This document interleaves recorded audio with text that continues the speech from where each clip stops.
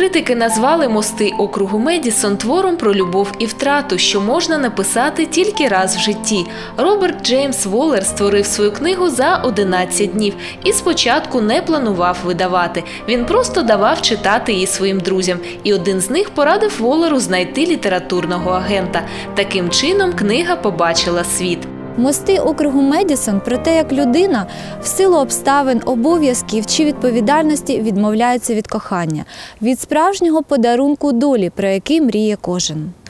Роман не заснований на реальних подіях, але автор стверджує, що є значна подібність між головними героями і ним самим. Фотограф Роберт Кінкейд останній ковбой подорожує світом, фотографуючи для себе або на замовлення журналу, в якому він працює. Одного разу він отримує завдання зробити фоторепортаж про криті мости округу Медісон. І ось там-то він зустрічає її, ту, заради якої об'їздив стільки доріг. Франческа неаполітанка. Після війни вийшла заміж за американського солдата, має дітей, живе розміреним життям дружини фермера. Звикла не сподіватися, звикла не мріяти.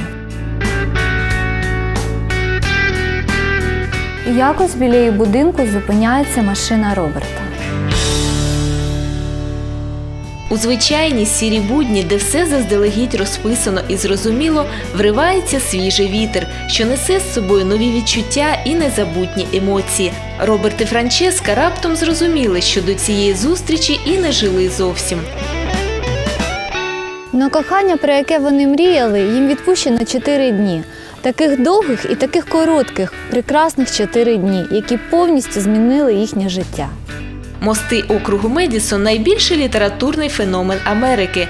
Роман невідомого професора Зайови Роберта Джеймса Воллера стартував із 7-мільйонним накладом і понад 90 тижнів очолював список бестселерів американських і європейських видань.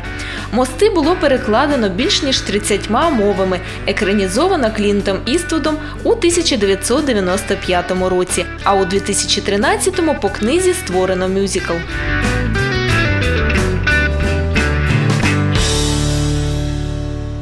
Роман Роберта Джеймса Воллера ніжний і жорстокий, сумний і світлий одночасно.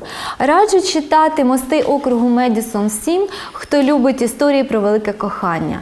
Ця книга не залишить вас байдужими. Це саме та історія, яка примусить ваше серце битися сильніше. Траплялися моменти і дуже часто, коли я казав собі, хай йому біс, я їду в Айову до Вінтерсета і за всяку ціну заберу Франческу з собою. Однак я пам'ятаю твої слова і поважаю твої почуття. Можливо, ти мала рацію, важко сказати. Лише одне я знаю напевно: поїхати від тебе тієї спекотної п'ятниці було найважчим з усього, що мені довелося робити в житті.